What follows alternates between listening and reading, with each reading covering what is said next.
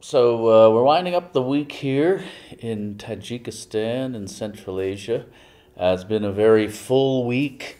Uh, we started out with our 10th anniversary celebration, and uh, it really was remarkable because we, you know, we had professional entertainers, but then we we had entertainment from our employees.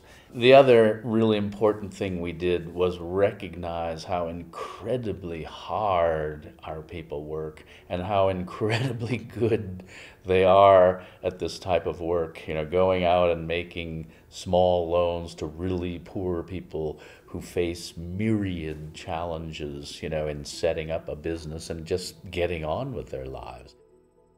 We took advantage also to bring the directors from our other six countries here in Central Asia and you know have them make presentations about everything that was going on in their countries so that you know we could exchange best practices and experiences and so forth. And then I went out and took advantage of being here to meet with some of the staff in the remote branches and some of the clients as well.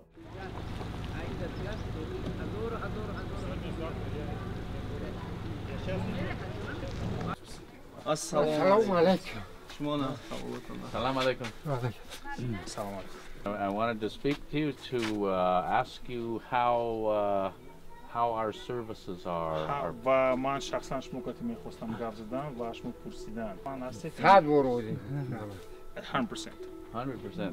Okay. That's the interest rate or satisfaction rate? Kaikki smo sad foiz megod. Yani in amun foizin finka sad foiz.